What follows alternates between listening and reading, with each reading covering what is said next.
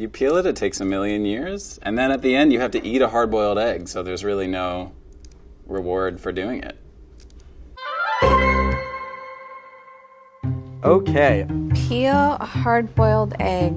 Oh. Sometimes I get this right, a lot of times I get it wrong. That looks too hard to do. I feel like there's a tool up here I should be using. The peeler. Scratch the surface. Or This might have to do with the peeling process.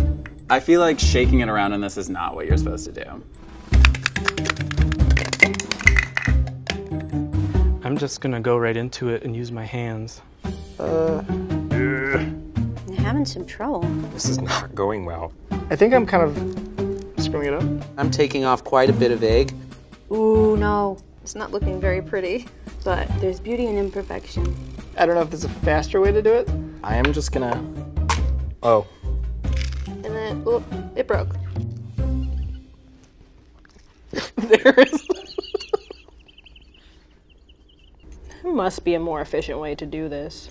Okay, here we go.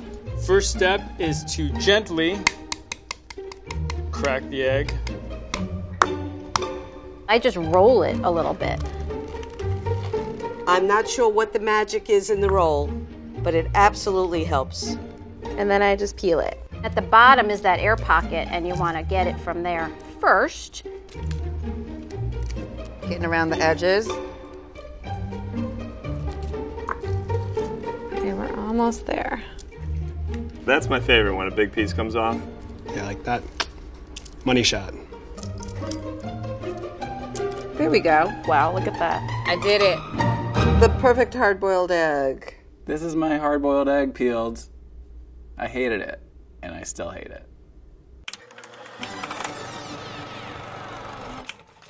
There's a lot of ways to peel a hard-boiled egg. There's a lot of tricks, a lot of gadgets. I'm going to show you the way that works for me. The key for me to peeling a hard-boiled egg is water.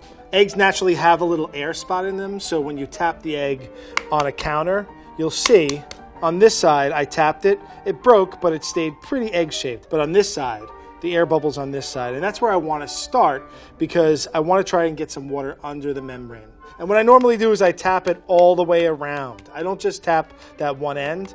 I submerge it in water, and then I start to peel, right? So here's that membrane, right? I want to pull that membrane away and try and start to get a little bit of water under it. So I just keep on dipping in the water and pulling it back. You can see as I peel it, the shell comes away really easy. If you have little shards or fragments, this also washes them off.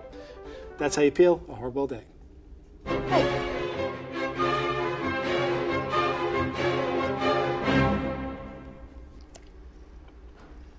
It's very dry.